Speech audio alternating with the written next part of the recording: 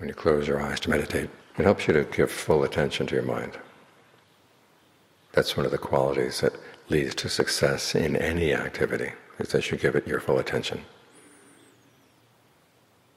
It's one of four qualities that the Buddha singled out as having a, an important role to play in succeeding whatever your activity, but especially in meditation.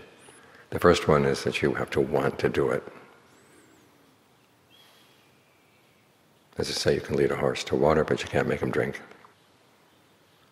But if the horse wants to drink, then you don't have to lead him. It goes right there. So try to develop that quality of the mind that wants to meditate, that realizes the importance of getting the mind to settle down so it can know itself. Because after all, this is the real source of the suffering in the mind, is the lack of skill we have in dealing with our own minds. Here's an opportunity to develop some skill. Once you have the desire in place, and then you really work at it. Anything that's going to get in the way of the meditation, you just put it aside.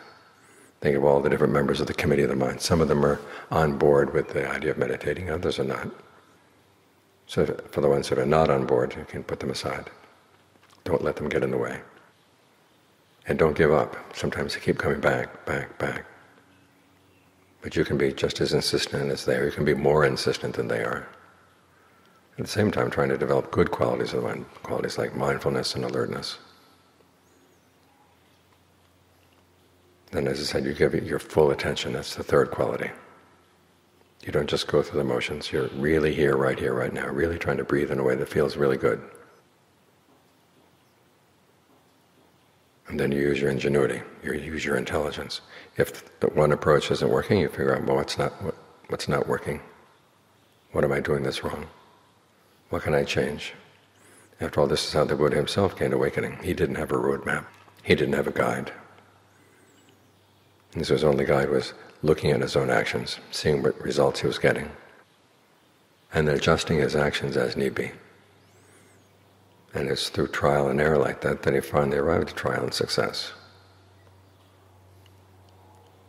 So bring your intelligence, bring all of your mental faculties here right now.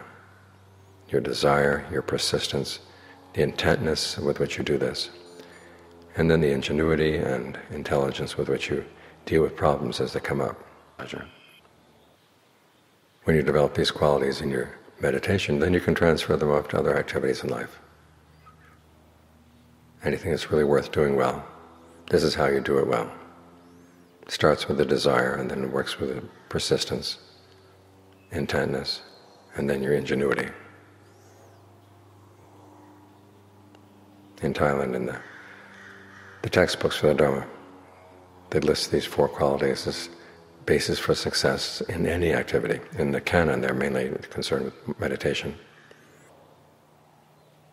And they've really gotten into the culture. I even read someplace of a treatise that was done on the four bases of success as they applied to mechanic repair work in the, in the Thai army.